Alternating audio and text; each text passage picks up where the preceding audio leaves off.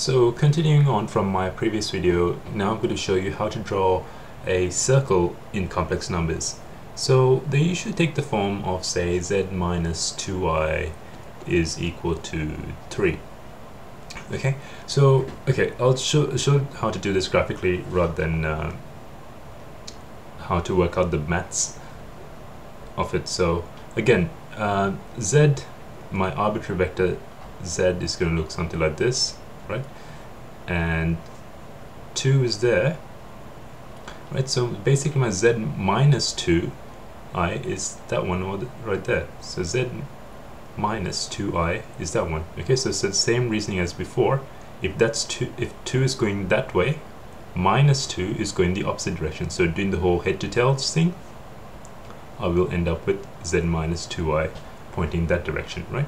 So basically what it's saying is that this the length of this vector the length of this vector has to be equal to 3 all right so okay I'll, I'll draw this again so that it's not cluttered. Oops. Yeah, look at me. Okay. So that these are my axes. So to draw z minus 2 z minus 2i is equal to 3 it's simply going to be uh, the center is going to be 2i right? And the radius is going to be 3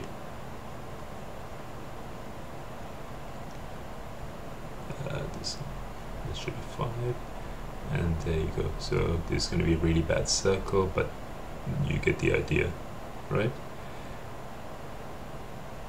Okay so basically any of my z minus 2i vectors anything the length simply has to be equal to 3 okay so you don't have to draw this yellow bit but you simply uh, need to draw the circle.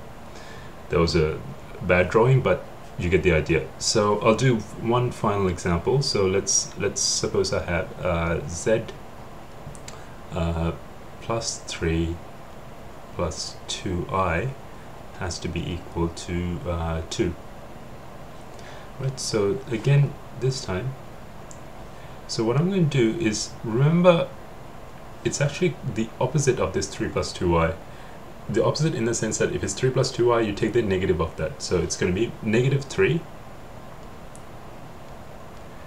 and negative 2 is going to be the center. And the radius is going to be 2 so in this case it's going to go through so it's going to look something like this.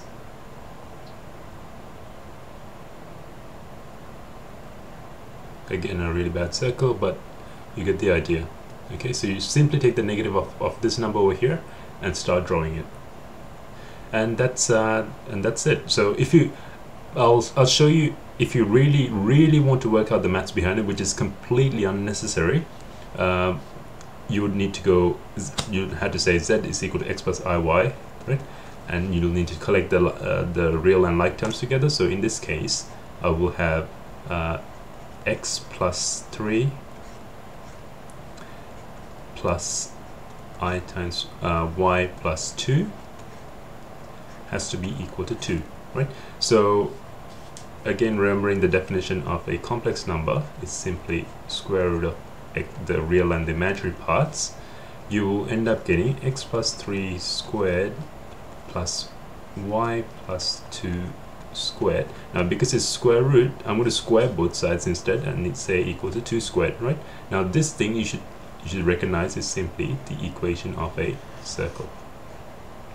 And that's it. Uh, if you have any questions, let me know. Uh, but thanks for watching.